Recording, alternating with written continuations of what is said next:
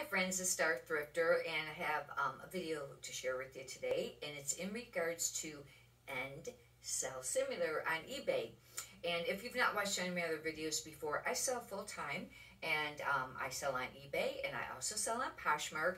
Anyhow, today it's in regards to the end sell similar and does that really work? Does it uh, work to increase sales? Does it work to um, get, you know, refresh the old stale listings and um, I'll tell you how it has worked for me.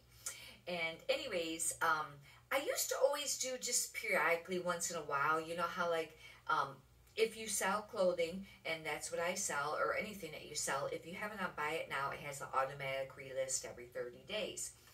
Well, supposedly eBay stated that after I think it is nine months pretty much those listings are probably not going to be really seen anymore. They're going to really be bottomed out. And you're really going to want, they suggested doing the end and doing sell similar. One way that you can find that out on how old your listings are is that if you um, go to your desktop and you bring up your account, if you click on active, and then it will bring up all of them. Wait for it to load. If you have very many, it takes a little while to load. And uh, anyways, um, you know, you have all your listings there, but it doesn't tell you how many days it's been listed. Now, I think on the phone app it does when you're getting ready to, you know, list or so. It'll tell you how many days. You want to know how many days the item's been listed, not within the 30 day cycle, but total overall. One way you can find out is on your desktop, you click on promotions, go to markdown sale, and if you click on that and then, uh, you know, choose your, your percentage you're to um, do on the sale, and then it'll go, you know, select individual items. When it brings up all the items over to the right, there'll be a section and it'll tell you how many days. I had some on there, it was like 400 and some days. It was a lot. Anyhow, I used to only do just a few on my phone app, like, you know, I would go in and see which ones were getting ready to end the soonest. And I would do, you know, here a few, you know, a few here and there, or whatever. And it really didn't seem to make a big difference unless I did like a really, you know, big amount of them. However, I was reading on the Facebook forums that you can do it in bulk, and I had never tried that. And I just tried that, and you know what? It does work. It does work to boost the sales. And in fact, one of them, um, as soon as I did the end in Sell Similar, I did a grouping of it, but one of the items, it had been sitting for a really long time. And here it is, September. Summer's already passed. It was a pair of men's shorts. It sold right away that means that it is boosting that listing up, you know, new. Anyhow, how you can do it is you can go into, um, you get on the computer and you go to your active listings. And then, um, you know, from there, usually the first page are going to be the oldest if you didn't, you know, go, because it's not going to tell you, like I said, how many days when you're just inactive. But you can also, you know, check it out when you're doing a sale or just going to do a, you know, a pretend sale and see how old they are and know what items you want to end. But anyways, I just went with my first page because I had like, I think there was like 13 maybe or 14 pages because I had 2,500 um, items listed. What I did is I just went through and did like maybe 10 at a time or, you know, 15 or 20 at a time and you'd end them. Then you click on ended listings and you go there. Then you can click on the top box and it'll highlight all of them. Just make sure you don't have anything else in the ended section that you don't want to relist when you do this, or make sure you unclick those boxes. I did that once, and you have to pay attention to that. And once or twice I did it.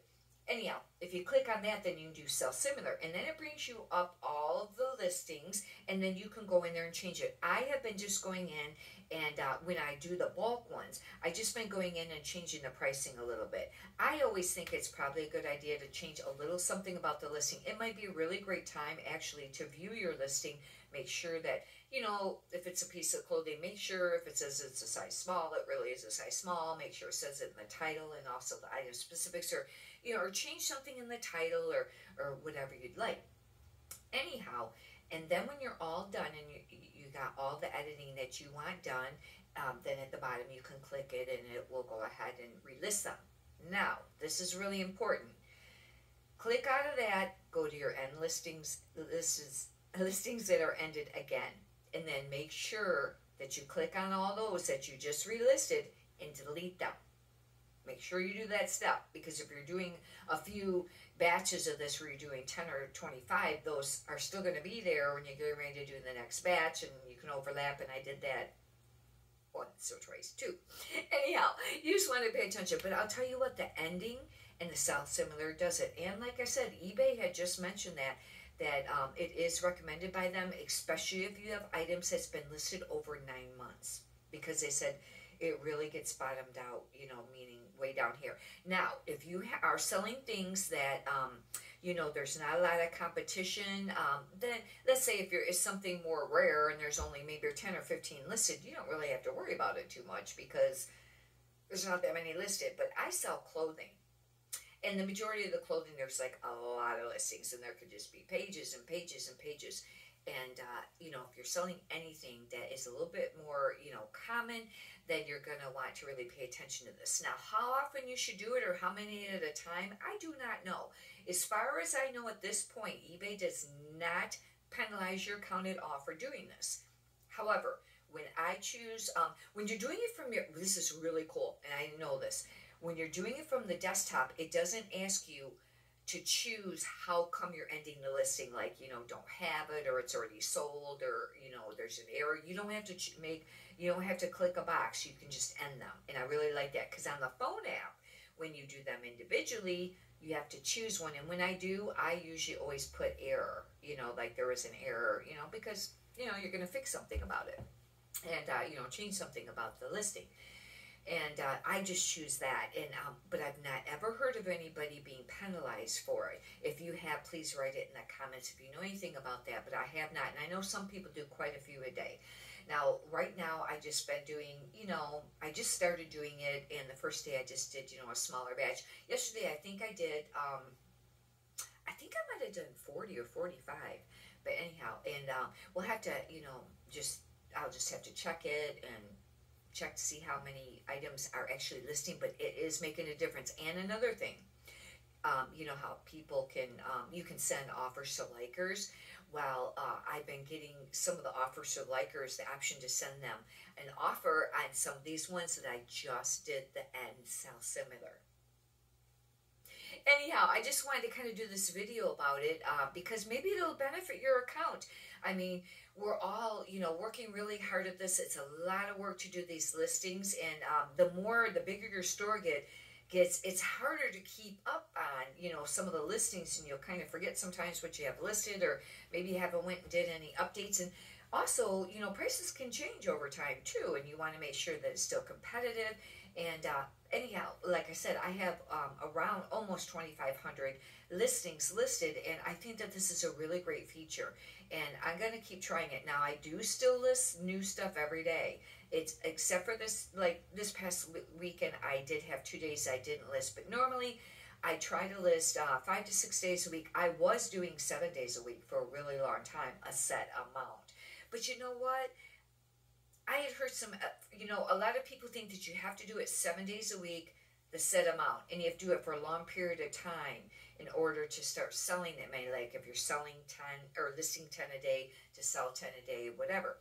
But then I've heard from some other resellers that they only do maybe five days. Now, some people will do them during the week and save them in their drafts, new listings, and then they'll post them on the weekend. But I mean, like, not doing any new listings or postings on a day or two of the week. I really do not know yet, still, on that.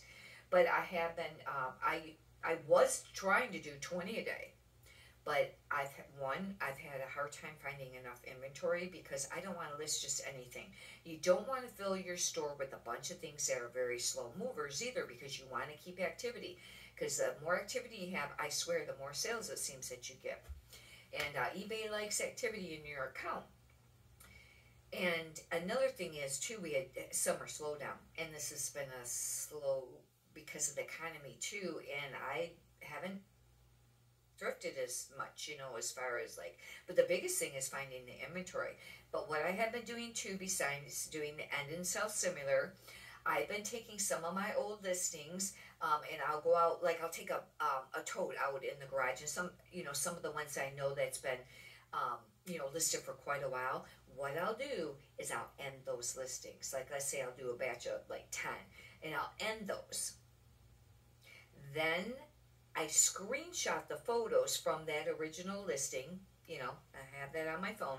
But then I'll go to the computer and I will cr- create a brand new listing for it. It's not a sell similar, it's not a relist, it's a brand new listing.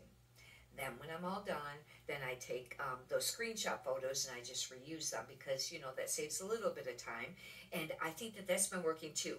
Now, is that more of a benefit to do that over the end sell similar? I do not know. The end sell similar is a lot easier, a lot faster, and I'll just have to you know play around with it. Now I I, I don't really know for sure. But anyhow, hopefully you got some benefit out of this and many prosperous sales to you.